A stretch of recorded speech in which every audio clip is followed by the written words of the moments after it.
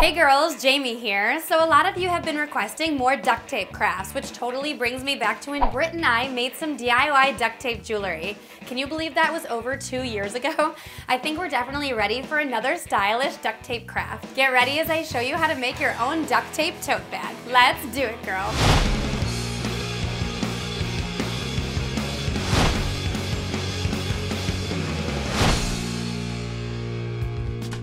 Okay, so for this craft, you're going to need several rolls of duct tape. You really only need one roll total to make your tote, but if you want to fashion it up in different colors and patterns like me, you're going to need between three to six rolls.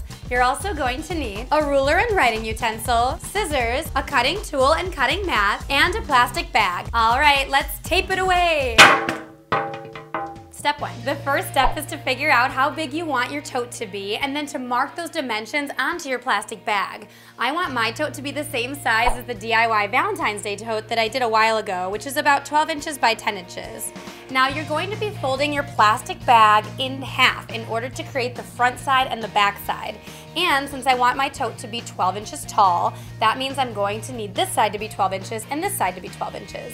Since we're folding it in half, that means I need a length on my plastic bag that's 24 inches. Make sure to add three more inches to give yourself material to make a flat bottom for your bag later. This will bring your final length to 27 inches. For the width of the bag, I just tacked on a few extra inches from 10 to 12 in order to account for any measuring errors. All this is to say, for a 12 by 10 inch tote, my starting measurements were 27 inches by 12 inches. No matter the size of your dimensions, mark them evenly onto your plastic bag and then cut it to size using your scissors or cutting tool. The next step is to cover your plastic bag with your duct tape. Keep in mind that after you fold your plastic bag together, the ends of your bag will form the top of your tote and the middle of your bag will form the bottom of your tote. I'll place my tape horizontally, switching off between a few different designs. You can attach your duct tape in any direction that you like actually, whether you go vertically or in zigzags or using different widths of duct tape.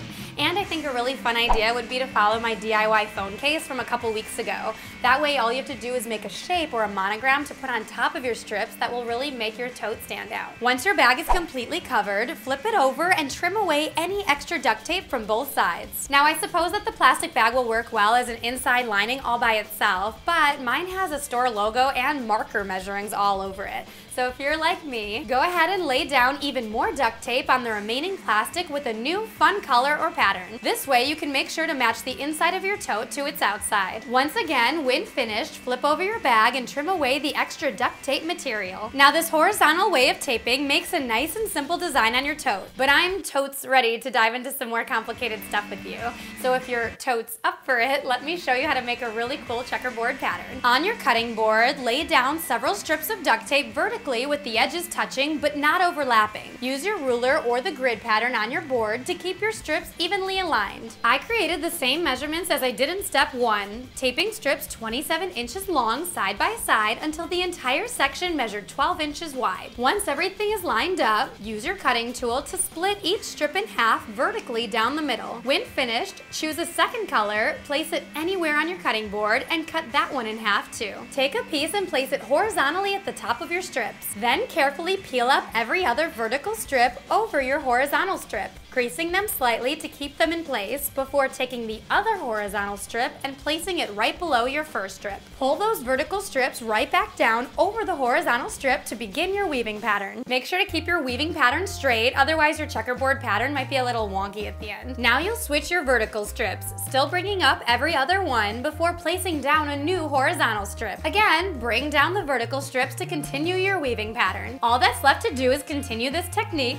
bringing up every other strip, laying down a horizontal strip, and then bringing down your vertical strips accordingly. Keep going until your checkerboard pattern matches the size of your tote dimensions. At that point, you'll lock your pieces into place by bordering them with more duct tape. Cut off all the extra material with your cutting tool, and your checkerboard pattern is complete. Turn your checkerboard sticky side up and place down some colorful duct tape that will decorate the inside of your bag. Again, cut away the leftovers and your basic tote template is ready to go. Woohoo! Way to construct your duct.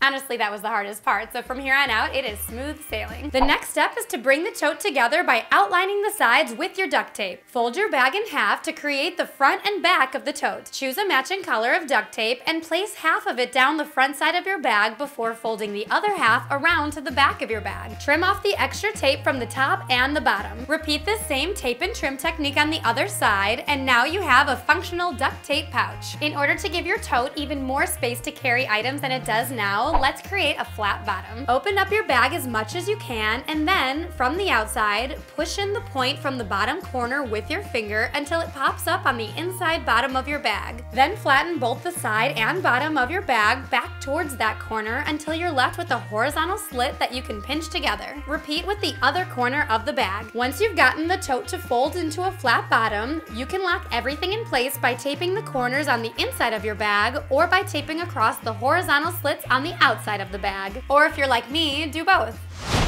Yay for going the extra mile. To finish off the tote's shape and style, all that's left to do is tape a border along the top of your bag. Take a strip of duct tape and fold half of it over the outside edge before sticking the other half down on the inside edge. Be sure to fold out any taping wrinkles, but don't worry about it if your strips aren't perfect. You won't really notice once you've added in your handles, which is step seven which is right now. Cut out a piece of tape about a foot and a half long. Fold it in half lengthwise, sticky side to sticky side. Bend it into an arc and tape both ends into place at the inside front of your bag. Repeat this step to attach a second handle to the back of your bag. And here's what it looks like with the handles attached. Now if you wanted to transform your tote into a satchel, then you can follow the other video that Britt and I did in order to show you how to make a duct tape braided bracelet. All you have to do is make that braid super long and then attach it from the left side of your bag to your right in order to have one strap that you can easily throw over your shoulder. And if you wanted to add even more pizzazz to your bag, then you could follow my duct tape flower tutorial. That way you can attach a bud or two onto your tote for some additional flair. This has got to be one of my most favorite crafts this year. You can make it any size you like, any color you like, and for any reason you like. It's 100% waterproof for pool days, and it makes the perfect way to pack a party gift or a party favor. And if you wanted something just a little bit smaller to carry with you, then you could always follow the folding techniques that I showed you in my DIY purse tutorial. That way you can make a simply adorable duct tape clutch to carry around with you all summer long. There are just so many ways to make this duct tape tote. It's like there's no way to duck, duck, lose. You know, like duck, duck, goose, but with, never mind. How did you make your duct tape tote? Tweet me at Jamie Petitto, Instagram me at Hey Jamie, or just tell me all about it in the comments below. We did it, girl. I'm Jamie, and you're on Gurl.com. For more tutorials just like this one, don't forget to subscribe to our channel. Word to the wise, don't ever do your nails before doing a duct tape DIY, or you will end up in such a sticky situation. no, but seriously, these look awful now. What's that department store bag? You want me to reuse or recycle this? all right.